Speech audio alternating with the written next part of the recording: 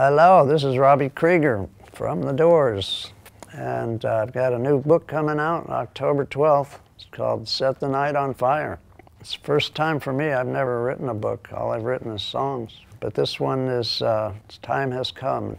I'm trying to set the uh, record straight and uh, make sure people know what really happened with the Doors.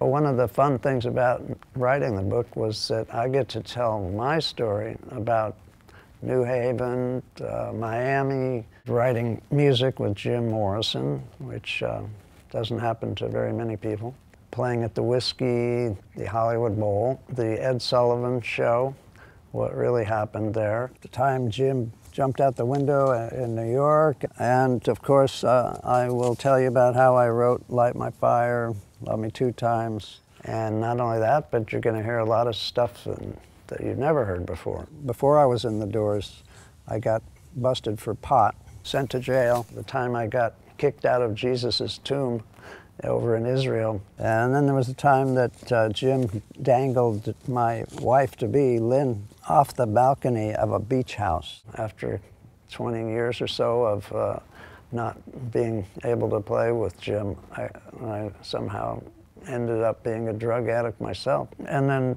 there's the time uh, where I had a black eye on, uh, on a TV show, and I never really explained about that, but I do in the book.